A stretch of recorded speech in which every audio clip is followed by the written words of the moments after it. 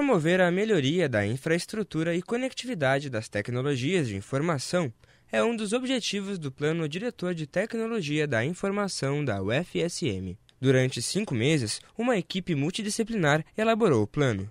Ele vem para atender às necessidades tecnológicas da instituição. A internet é uma das principais ferramentas dessas tecnologias.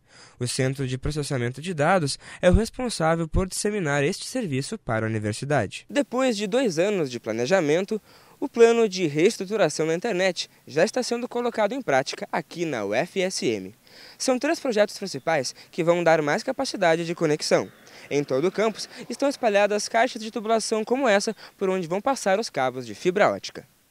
Nós temos hoje três, três projetos principais na parte de infraestrutura DTI, que é o projeto de rede wireless, o projeto de reestruturação do backbone e o projeto de reestruturação no nosso data center. Serão 28 mil quilômetros de fibra ótica em todo o campus. Isso vai ampliar o chamado backbone, rede de transporte da internet. Atualmente, o backbone interno possui 1 GB de velocidade. A meta é atingir os 10 GB.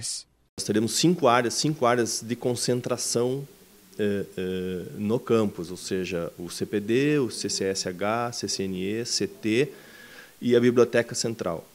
Então, eh, esses, esses, esses pontos concentradores vão interligar também, nessa, a 10 GB, os prédios nessas regiões do campus. Então, a gente acredita que entre dois e três meses, essa, essa infraestrutura básica de TI de, de conectividade esteja concluída. Devido ao aumento de acessos por parte dos professores, alunos e funcionários, toda a rede wireless será reestruturada em todos os campos da UFSM. Nós estimamos que a gente deva chegar aqui no campus ao redor de dois, dois pontos de acesso por, por usuário, por pessoa. Né? Ou seja, se eu estiver acessando aqui o meu computador, mais o meu smartphone, mais o meu tablet, eu vou consumir três, três três pontos de acesso na, na, rede. Então, a rede wireless ela vai precisar ser bastante robusta para é, é, conseguir suportar toda essa demanda de, de, conectividade desses dispositivos móveis. O projeto tem a previsão de ficar pronto em cinco meses.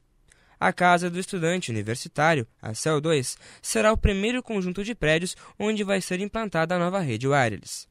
Por enquanto, os estudantes contam com um projeto provisório. A internet, para quem mora aqui no 13, ela não está funcionando muito bem, não. A gente tem um roteador só lá no 15 e um roteador aqui no 11.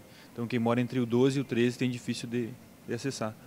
Apesar de toda a infraestrutura básica já estar instalada, o acesso dentro dos apartamentos é praticamente inexistente. Incomodados com essa situação, cerca de 100 estudantes fizeram uma manifestação e foram até a reitoria.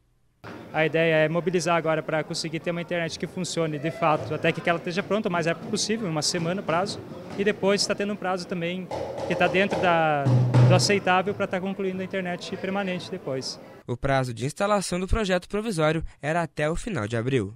Nós tivemos algum, algum atraso em função, em função da realização da infraestrutura básica, né, que seria as eletrocalhas nos corredores e também a parte elétrica, né?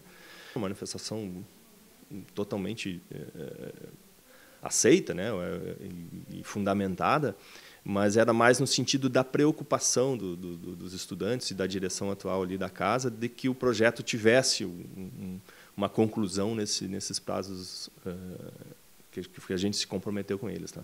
Depois do prazo de uma semana, foram instalados 54 roteadores nos prédios.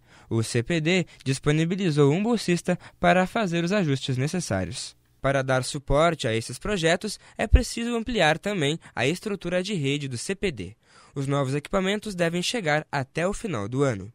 Cerca de 2 milhões de reais estão sendo investidos para garantir um acesso à internet com qualidade e para todos.